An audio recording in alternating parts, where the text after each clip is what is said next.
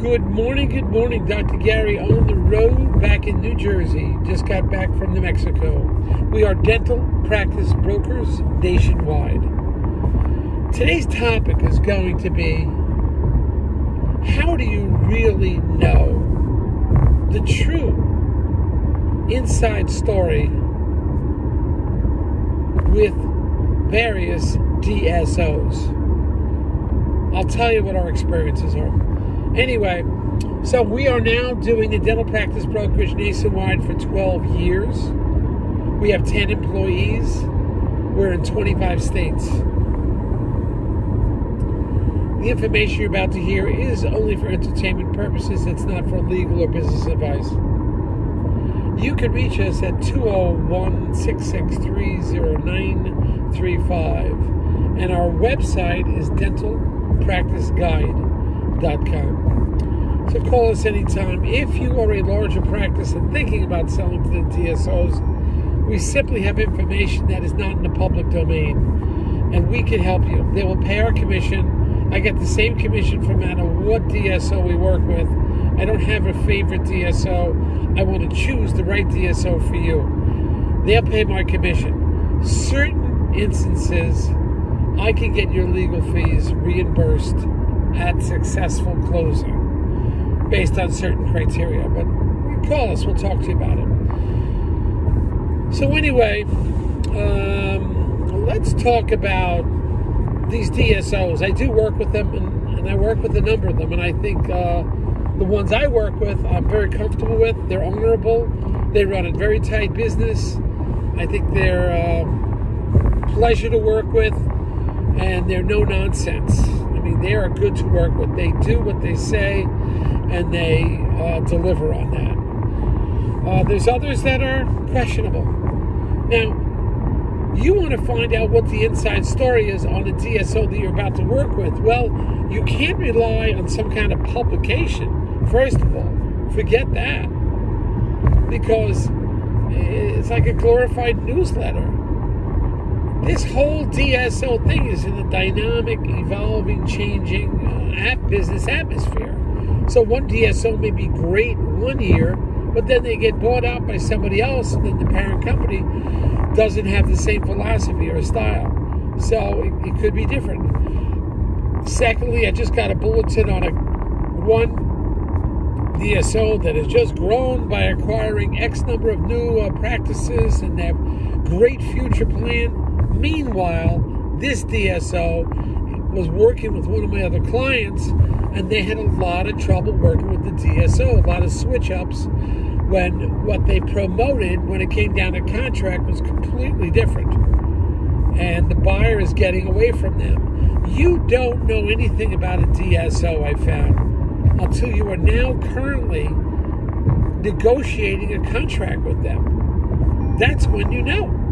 You're in the middle of negotiations of a contract. That's when you'll really find out, or possibly your letter of intent, which is non binding. That's when you're going to find out.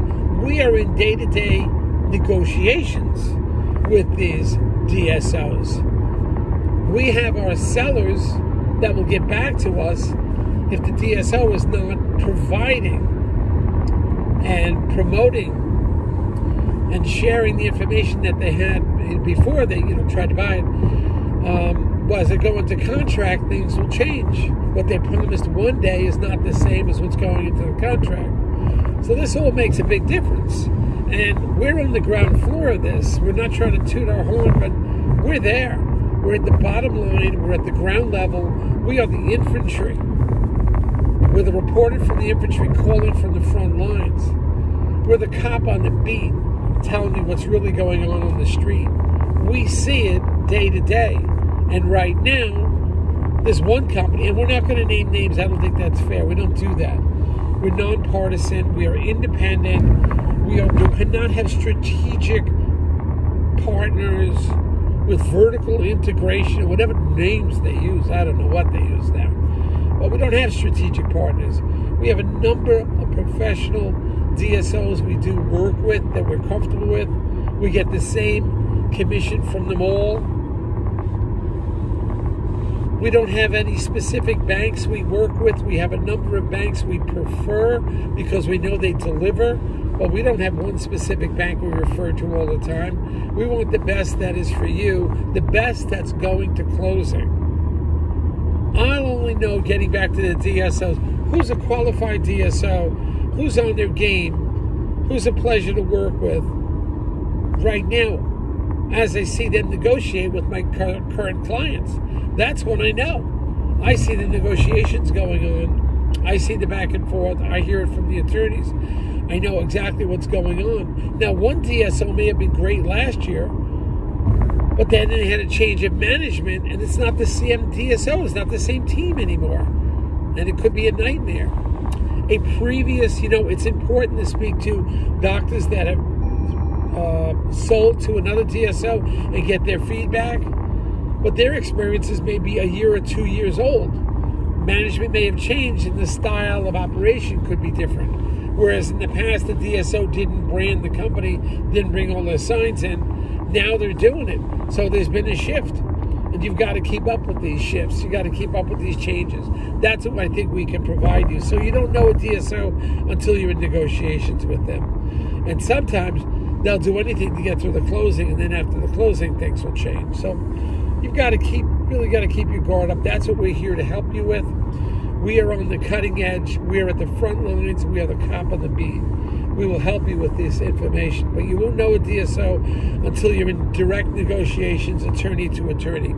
That's when you're really going to know. Anyway, great talking to you guys. We have many, many more um, YouTubes coming out.